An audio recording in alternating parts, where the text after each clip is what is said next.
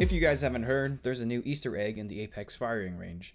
There have been a few tweets about it, like this one, giving clues for how to unlock it, and people have just figured it out, so I'm going to walk you through how to do it. Load up the firing range and switch to Pathfinder if you aren't him already. You don't have to go back to the lobby, you can do it in the firing range. Then grab a body armor, doesn't matter which color, and run over to this last cave on the right. Let's explore this way.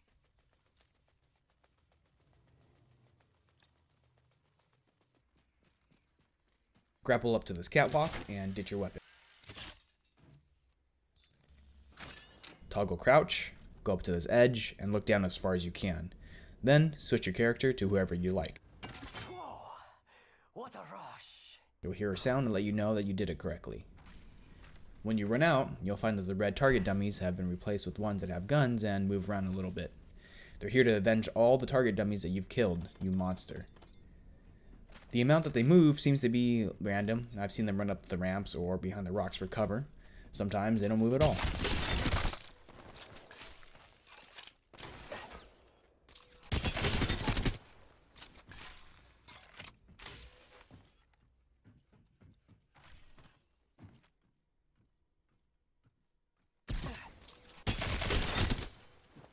If you get up close enough, they'll actually melee you.